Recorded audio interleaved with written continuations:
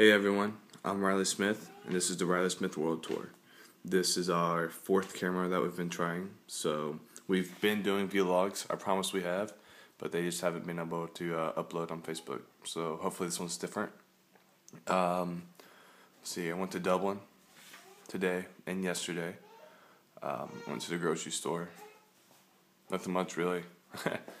um, had my first Guinness a couple nights ago. I don't know if you saw that.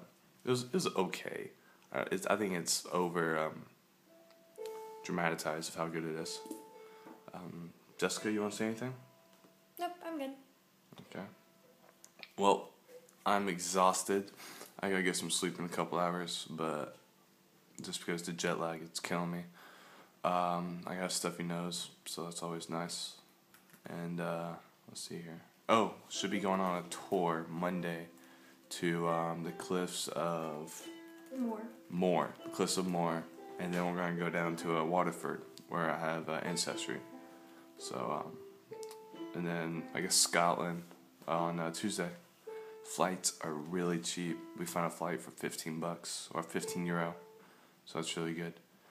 And um, yeah, leave any questions, comments, anything. All right, see you guys.